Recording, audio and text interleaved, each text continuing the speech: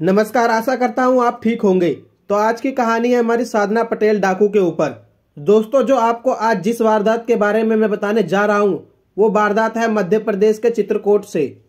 पिछड़े तबके के बुद्धिनाथ पटेल मध्य प्रदेश के विंदी इलाके के चित्रकूट गाँव के रहने वाले थे।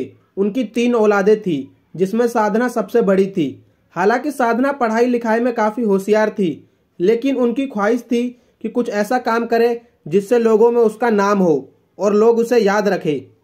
लेकिन साधना सीधा इससे उल्टी। जिस उम्र में लड़की कॉपी किताब पढ़ाई लिखाई करती है, उस उम्र में साधना अपने बॉयफ्रेंड के साथ जंगल में मौज मस्ती करती रहती थी। ज़ाहिर है कि बहुत कम उम्र में वह रास्ता भटक बैठी थी। कहीं इसके जिम्मेदार उसके पिता बुद्धिनाथ भी थे, जिनके घर हर दिन डाकुओं का आना जाना लगा रहता था। डाकू चिन्नी पटेल का तो उनसे इतना याराना था कि जिस दिन वह बुद्धिनाथ के घर आता था तो उस दिन दारू, मुर्गा की पार्टी होती थी। डाकू चुन्नी पटेल को साधना चाचा कहकर बुलाती थी और अक्सर उनकी बंदूक से खेला करती थी। उनकी इसी हरकतों को देखकर डाकू चिन्नी पटेल हमेशा कहा करते थे कि यह लड़की एक दिन पुतली बाई से भी बड़ी डाकू बनेगी। ऐसा ही हुआ 18 नवंबर 2019 को, जब सातना पुलिस ने पचास हज़ार का इनाम रखा तो कोरिकियन मोड़ के जंगल से उसे गिरफ़्तार कर लिया। एक मामूली सी घर की खूबसूरत दिखने वाली साधना पटेल, आखिर डाकू बनी कैसे? कम उम्र में साधना को सेक्स का इच्छा होने लगा था और यह उसकी आदत बन गई थी और अपने बॉयफ्रेंड के साथ जंगल में जाना और सेक्स करना और वह यह बार बार करती, जिससे उसके पिता बुद्धिनाथ काफ़ी परेशान हो गए थे। फिर उसके पिता ने इन सब चीज़ों से बचाने के लिए अपनी बहन के गाँव बनगारा भेज दिया। लेकिन इससे उसका कोई भी फ़ायदा नहीं हुआ। साधना को यह जानकर हैरानी हुई कि चुन्नी डाकू चाचा का यहाँ पर भी आना जाना लगा रहता है और साधना को यह भी पता चला कि उसकी बुआ का उसके चुन्नी चाचा से नाजायज संबंध है। फिर साधना को पहली बार सेक्स को लेकर मर्दों की कमज़ोरी नज़र आई, लेकिन सेक्स की लत और कमज़ोरी अभी भी उसके पास से गई नहीं थी। जिसके कारण उसका संबंध वहीं के एक ऐसे नौजवान से बने जो कि उसका मुँह बोला भाई था। लेकिन एक दिन, जब वह घर में संबंध बना रही थी, तभी साधना की बुआ ने उसको रंगे हाथ पकड़ लिया था। तो साधना घबरा गई। साधना को यह डर था कि उसके बुआ के कहने पर डाकू चुन्नी लाल उसे और उसके प्रेमी को मार देगा। इसीलिए जान बचाने के लिए वह बुआ के घर से भाग गई।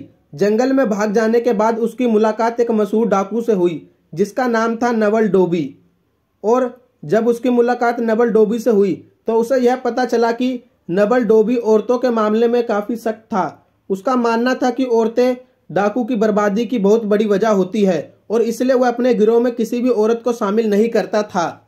लेकिन साधना को देखते ही नवल डोबी का मन डोल उठा और अपने इसी मन को डोलते के साथ उसने साधना को न सिर्फ़ अपने गिरोह में शामिल किया, बल्कि उसे अपनी ज़िंदगी में भी शामिल कर लिया। वैसे तो आदमी जिस प्रकार कपड़े बदलते हैं, वैसे साधना आशिक बदलती थी, लेकिन नवल डोबी के साथ उसने इसी में सहमत, अच्छी बात समझी कि इसके साथ ही रहा जाए और किसी के साथ अपना मुँह काला ना किया जाए। फिर साधना ने नवल डोबी और गिरोह के साथियों के साथ जंगल में रहना, लूटपाट करना और बहुत से हथियारों को चलाना सीखा और उस गिरोह में रहकर कई वारदातों को भी अंजाम दिया, जिससे उसका नाम आसपास के इलाकों में मशहूर होने लगा और खौफ फैलने लगा। लोग उसके नाम से डरने लगे, लेकिन एक दिन पुलिस के हाथों नवल डोबी लग गया। फिर पुलिस ने उसे गिरफ़्तार कर लिया, जिसकी वजह से उसका गिरोह टूटने लगा तितर बितर होने लगा। फिर साधना ने बाकी डाकुओं के साथ मिलकर अपना खुद का गिरोह बना डाला और बेखौफ होकर वारदातों को अंजाम देने लगी।